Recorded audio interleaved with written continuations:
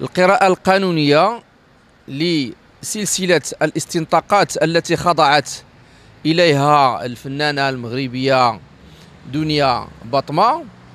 آه، هي آه، خلفية لديها خلفية قانونية وتجد مرجعيتها في قانون المسطرة الجنائية المغربية.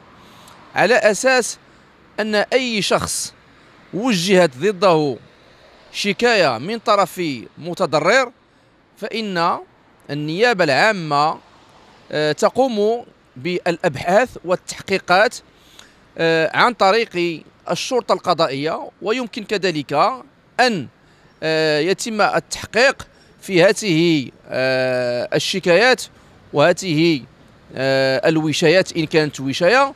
من طرف قضاة التحقيق. وبمراجعة الفصول قانون المسطرة الجنائية آه، خاصة الفصول الأولى واحد جوج ثلاثة أربعة خمسة ستة سبعة إلى آخره آه، باستثناء ما تعلق بعمل الشرطة القضائية حتى نصل إلى مهام النيابة العامة ووكيل الملك. المهام ديال النيابة العامة انطلاقا من الفصل 36 من قانون المسطرة الجنائية.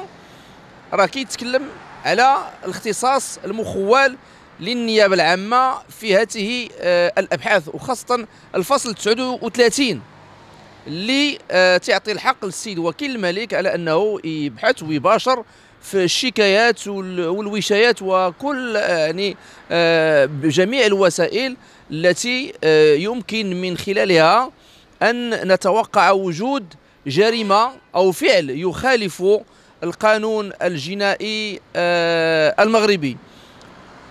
والقانون المغربي كذلك لا يميز بين الأشخاص. طبعا هناك سلطة الملائمة لدى النيابة العامة ولكن آه، ما تتبعنا على مستوى آه، مواقع التواصل الاجتماعي على أن هناك حساب آه، مسمى حمزة مونبيبي الذي يهاجم بعض الأشخاص أو بعض الفنانة.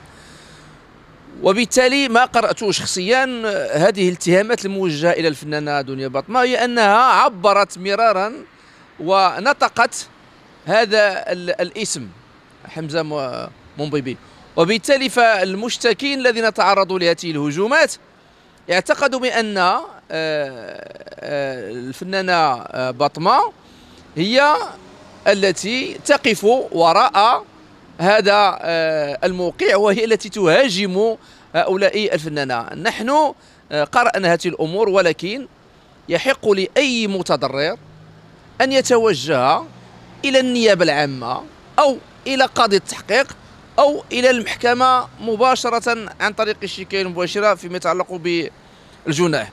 وبالتالي فليس آه، هناك أي مخالفة لقانون المسطرة الجنائية المغربي وكل متهم هو بريء إلى أن تثبت إدانته بقرار حائز على قوة الشيء المقضي فهذه الفنانة تخضع للبحث والتحقيق. فإذا كانت هناك وسائل إثبات استطاعت الشرطة القضائية آه، العلمية والخبيرة بمجال آه، المعلوميات أن تجد هناك آه، ما يربطها بهذه الأفعال التي يمكن أن هي التي تتجاوز أفعال التشهير ربما التشهير آه، الفصل 447 جوج رقم جوج أعتقد آه، من من قانون الجنائي. فإذا كانت هناك آه، إثباتات فالشرطة القضائية سوف تحيل الملف على وكيل الملك الذي يقوم بدراسة هذه الوقائع ويكيفها ويعطيها الوصف الجنائي السليم وفصل المتابعة. وإذا لم تكن هناك أدلة فهو يحفظ الشكاية في حقها. هذا كاين أعتقد جريمة ديال ديال التشير هي هي جنحة. جنحة آه يعني آه والجنح في أقصاها لا تتجاوز عقوبتها. آه خمس سنوات ولكن جنحة التشهير فهي لا تصل إلى هذه العقوبة. ف آه، يعني هي من الجرائم التي من الأفعال التي جرمت آه، مؤخرا آه، وأدخلت إلى إلى القانون الجنائي. لا أعتقد بأن هذه الفنانة يمكن اعتقالها لأن هي من الأشخاص الذين يمكن أن نعتبرهم يتمتعون يعني ب عندهم ضمانة الحضور. عندهم ضمانة الحضور وما يمكنش تهرب. وبالتالي فأحيانا الاعتقال يعني الاعتقال يكون في حالات الأشخاص الذين ارتكبوا أفعالا خطيرة والذين كذلك لا يتمتعون بضمانات الحضور. وهذه الجرائم هي من جرائم غالبا التعويض.